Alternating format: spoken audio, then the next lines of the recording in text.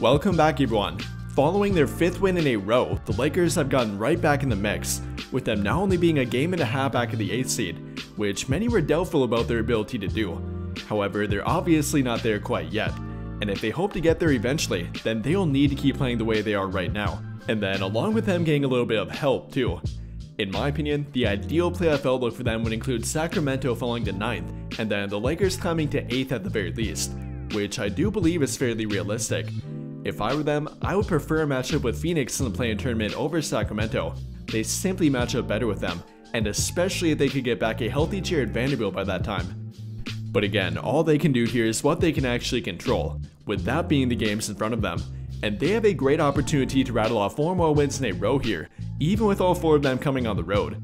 And if they keep getting the version of Rui Hachimura that they have been getting, then I certainly believe that could happen, with him arguably being their third or fourth best player at the moment, and we're going to talk about how he has done it, how he can maintain it, and then go over a brief update on Gabe Vincent.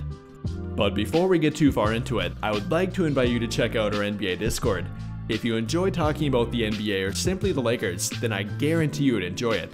Or if you don't have Discord, then feel free to follow me on Twitter, X, or whatever you want to call it to hear my thoughts on everything NBA related.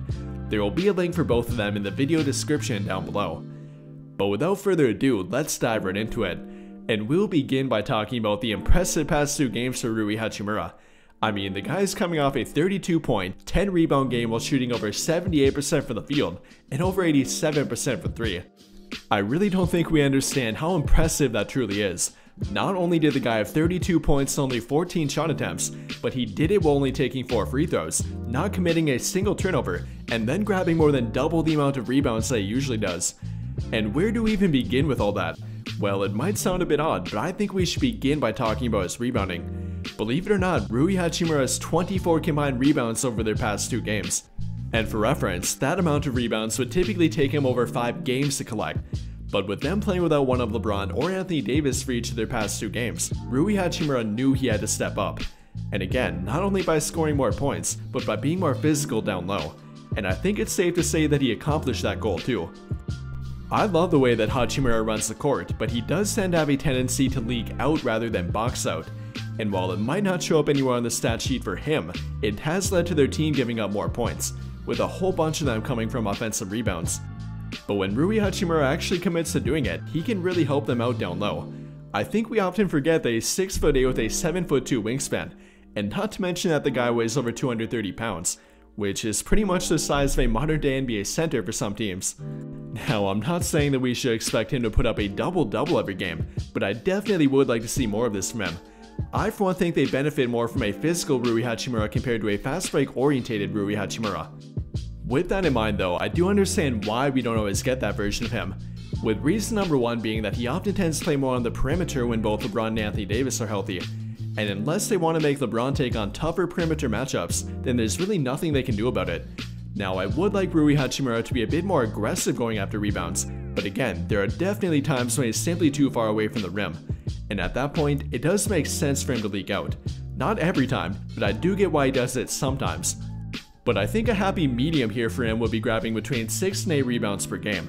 That would be a big difference compared to the 4 rebounds per game that he's averaging right now. And even with him playing more on the perimeter, it's definitely not impossible for him to get back in there and help rebound, shown by the way that Jarred Vanderbilt plays with them.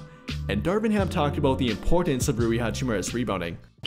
I suppose the some of the focus on Rui just the shooting night with the seven threes, but second straight double digit rebounding game. Yeah. Did you challenge him specifically? To, Absolutely. Okay. Yeah, I've, I've, I've been on him all year about rebounding more, being active on the glass, being an active defender um, and not leaking out. You know, he has a tendency to want to take off running, assuming someone else is going to get the defensive rebound, and, he, and it stops him from participating. But he's to his credit, you know, he's heard us loud and clear. I'm not the only one telling him this. His teammates, the other coaches, um, are all delivering the same message, and you know, he's responding well to it.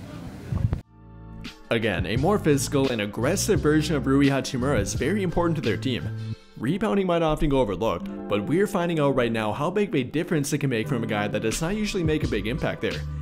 But even apart from rebounding, I would like for Hachimura to keep being heavily involved in their offense.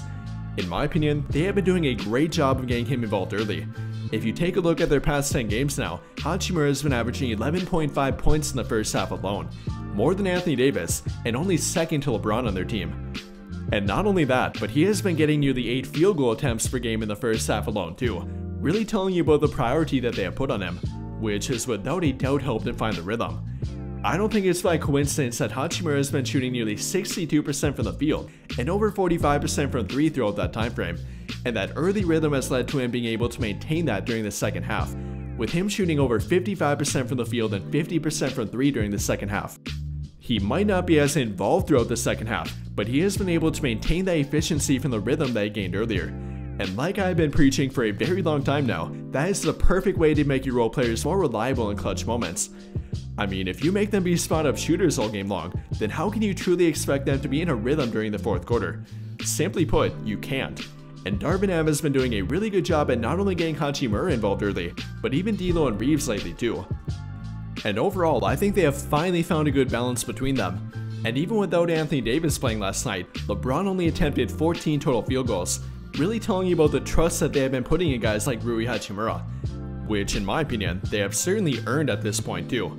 And it might sound pretty obvious, but what they have to do to maintain this, both from a team and individual standpoint for Rui Hachimura, is simply not forget what got them here. And that's the combination of everything that we talked about. I know a lot of the talk tends to go to LeBron and Anthony Davis, but let's not forget about the role players here too. Not only keeping them involved, but pushing them to play up to their potential, even if it's something as small as consistent rebounding from Rui Hachimura. But with all of that in mind here, let's finish up by talking about Gabe Vincent. I know we have gone over a bunch of updates on the guy, but we finally appear to have a definitive one, and thankfully it's the one that we have been waiting for too. There might have been talk about him not being able to come back during the regular season, but that appeared to have been false, with Shams Charania of The Athletic confirming that Gabe Vincent will in fact be returning during their upcoming road trip, and likely even be available to play on Sunday night for their matchup in Brooklyn. Which really begs the question of what should their rotation look like when Gabe Vincent comes back? And well, that will obviously depend on who you ask, but I think it will look like we'll include the 5 members of their current starting lineup, along with Dinwiddie, Prince, Hayes, and then yes, I do believe that Gabe Vincent will be back in that mix too. And with the playoffs coming up, I think they'll be looking to trim down their current rotation, with both Reddish and Christie likely being a casualty of it. Not entirely removing them from the rotation in every game, but likely making them more matchup dependent, which will in fact mean them getting a few DNPs here and there. I mean, with Spencer Dinwiddie playing great defense for them and legitimately filling the role of a 3 and D player off the bench, they don't really have a big need for Reddish anymore, and especially if he's not fully healthy. Now, I do think there will be a spot for Jarred Vanderbilt when he comes back, but I think that Reddish and Christie might get taken out in favor of Gabe Vincent, and I'm not entirely against that either, though it will depend on how he looks. But with all of that being said, what do you guys think? What have been your primary takeaways in the performance of Rui Hachimura lately? And then how do you think the rotation should look like and then will look like with Gabe Vincent back? Let me know your thoughts in the comments down below. That will do it for this video though. Big thank you to those of you who took the time to watch until the end of this video, and until the end of all my videos in general. I really hope you enjoyed it, and if you did, be sure to drop a like on the video, subscribe to the channel if you have not already, and hit that notification bell to never miss out when I upload a video. But as always, thank you for watching and have a great day.